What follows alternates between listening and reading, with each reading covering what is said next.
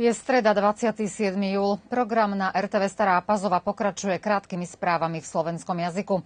Aleksandr Vučič si dnes pripomenul 10 rokov pôsobenia na poste prezidenta Srbska. Do tejto funkcie nastúpil v dnešný deň presne pred desiatimi rokmi. Dnes poukázal na to, aký pokrok bol odvtedy dosiahnutý v početných oblastiach.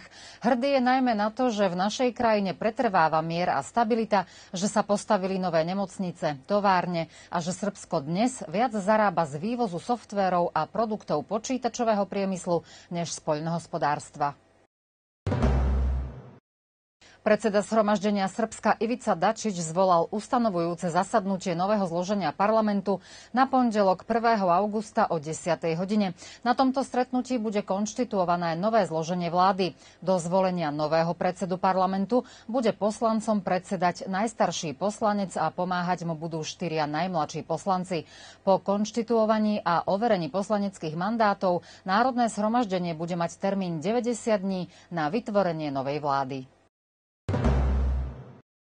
Ministerstvo vnútra Srbska má vyjednávací tým, ktorý je vysoko uznávaný v regióne a aj širšie v Európe. Z toho si môžu brať príklad ďalší policajti, preto ministerstvo zorganizovalo v Kule regionálny seminár pre policajných vyjednávačov, povedal minister Aleksandr Volin a dodal, že úloha vyjednávačov je veľmi ťažká, zodpovedná a dôležitá.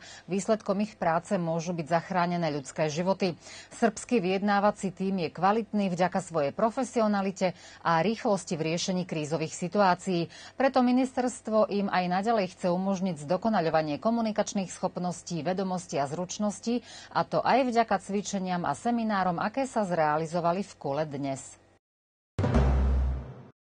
V rámci otvoreného Balkánu nedôjde k zákazu obehu múky, cukru, oleja a iných základných potravín. Potvrdí to dohoda, ktorá je v príprave a mala by byť podpísaná v septembri, povedal dnes predseda hospodárskej komory Srbska Marko Čadeš. Podľa jeho slov dohoda bude obsahovať ustanovenie o zákaze reexportu, aby sa predišlo manipuláciám s tovarom. Zároveň dodal, že domáci trh je stabilne zásobený základnými potravinami, ale produkcia a cena bravčového mesa je naďalej výzvou. O týchto otázkach sa rokuje s partnermi vo vláde, kde sa navrhuje definovať cenu mesa podľa ceny kukurice v pomere 8 ku 1. Máme horúce počasie a pre lekárov zo záchrannej služby to znamená aj viac práce než zvyčajne. Podľa nich, keď je slnko príliš intenzívne a UV žiarenie má neprimerané hodnoty, v čase od 10. do 17.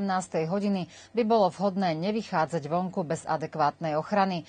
Pomoc od lekárov zo záchrannej služby žiadajú najmä osoby s chronickými, kardiovaskulárnymi, respiračnými a neraz aj neurologickými ochoreniami, ale tieto horúčavy sa môžu podpísať aj na zhoršenom stave stave u zdravých dospelých osôb aj u detí a mládeže, pričom dôvodom môže byť slabá strava a nedostatok tekutín. V Staropazovskom dome zdravia sa v posledných dňoch službe rýchlej zdravotnej pomoci ohlásilo viacero pacientov so spomenutými ťažkosťami, preto lekári apelujú na dostatok oddychu, dostatok tekutín, vitamíny a zredukovaný pohyb vonku počas najhorúcejšej časti dňa. Ostaneme ešte pri téme zdravie. Čo sa týka koronavírusu, včera v Starej Pazove z celkového počtu testovaných tretina pacientov mala pozitívne výsledky. V júli sa začala šíriť nová vlna nakazenia. Ľahko sa prenáša, ale zatiaľ to vyzerá, že má ľahší priebeh ako v minulosti. Pre porovnanie, v prvej polovici júna bolo v Staropazovskej obci 8 nakazených a v prvej polovici júla až 166, povedala pre RTV Stará Pazova riaditeľka Domu zdravia Stará Pazova doktorka Snežana Tabakovičová. Včera do COVID ambulancie prišlo 70 občanov a u 29 boli výsledky výsledky pozitívne. Počas minulého týždňa bolo nakazených aj 5 detí s veľmi miernymi symptómami. Deti sa nakazili doma od príbuzných. Lekári upozorňujú, že by bolo lepšie nezdržovať sa na hromadných verejných zoskupeniach, ako sú napríklad bazény. Bolo by vhodné nosiť rúška a netreba zabúdať na pravidelnú a častú hygienu rúk. Čo sa týka očkovania, záujemcovia prichádzajú najmä kvôli štvrtej dávke vakcíny a záujem o prvú dávku je minimálny. Pozvánka na zajtra na starú evanelickú faru. O 19. hodine tu začína milé podujatie. Ide o prezentáciu knihy s názvom Pazovské piesne, ktorej autorkou je doktorka etnomuzikologička Kristýna Lomenová. V rámci programu sa okrem nej publiku prihovorí aj pán farár Igor Feldy a program bude spestrený piesňami v prevedení jednotlivcov aj chóru. Kristýna Lomenová 5 kníh daruje knižnici na starej evanielickej fare, takže záujemcovia si budú môcť knihu aj vypožičať. Podobná prezentácia sa bude konať aj o deň neskôr, v piatok 29. júla, v priestoroch spolku hrdinu Janku Čmelíka o 19. hodine, kde okrem autorky sa prihovorí aj historik Jaroslav Miklovic. Láska ku rastlinám, najmä ku kaktusom, doviedla Táňu Radojčičovú ku zaujímavej záľube. Doma vo svojom dvore pestuje vyše 600 kaktusov a 400 iných sukulentov, o ktoré sa pravidelne stará a dokonca si vedie evidenciu. Prvé dva kaktusy si kúpila pred 8 rokmi na Deň žien, jeden z nich je dodnes vo veľmi dobrom stave. Postupne sa jej zbierka rozširovala a ona si vďaka literatúre, internetu a ľuďom, ktorí majú podobnú záľubu, rozširovala aj vedomosti. Tejto oblasti sa venuje venuje len ako záľube vo voľnom čase a ako hovorí, je to náročná záľuba, najdôležitejšia je tu pravidelná starostlivosť a láska. Známi ju nabádali, aby začala kaktusy aj predávať, ale jej sa táto myšlienka nepáčila, jednak preto, že by nemala čas dávať na sociálne siete fotky, baliť a posielať kaktusy a jednak preto, lebo by sa ani s jedným kvetináčom nevedela rozlúčiť. Tohto týždňa pokračuje program v rámci detského kultúrneho leta. Vo štvrtok je na pláne predstavenie Bajka o Zajacovi, ktorú uvidia najprv malí diváci v Starých Bánovciach o 18. hodine a potom v Novej Pazove o 20. hodine. O deň neskôr v piatok sa rovnaké predstavenie odohrá o 18. hodine v Belegiši a o 20. v Starej Pazove. Predstavenie sa hrá vonku pod holým nebom. V Starej Pazove to bude pred divadlom a je to zadarmo.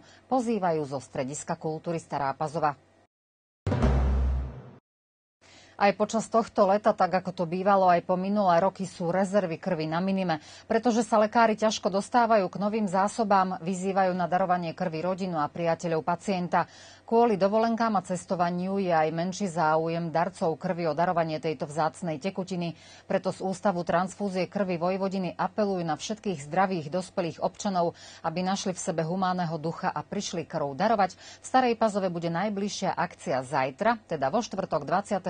júla od 8. do 13. hodiny pred budovou obce Stará Pazova, kde bude zaparkované transfúzne vozidlo. Z Červeného kríža Stará Pazova informujú, že momentálne najviac potrebujú krvnú skupinu 0 a A, ako aj všetky negatívne krvné skupiny, ale samozrejme vítaní sú všetci darcovia. Ženská juniorská volejbalová reprezentácia Srbska v Banskej Bystrici na Slovensku zaznamenala dôležité tretie víťazstvo na 16. Európskom olympijskom festivale mladých 2022. Zvíťazili nad Slovinskom 3-0 po setoch 30-28, 25-21, 25-20 a to po 75 minútach hry. Týmto si ako víťazky B skupiny vybojovali účasť v polofinále. V piatok o 19. naše srbské volejbalistky čaká zápas proti tým hráčkam, ktoré v A skupine skončia na druhom mieste. V reprezentácii sú aj dve hráčky z našej obce z klubu Omlady nad Staré Bánovce, Una Vajagičová a Iva Šučurovičová.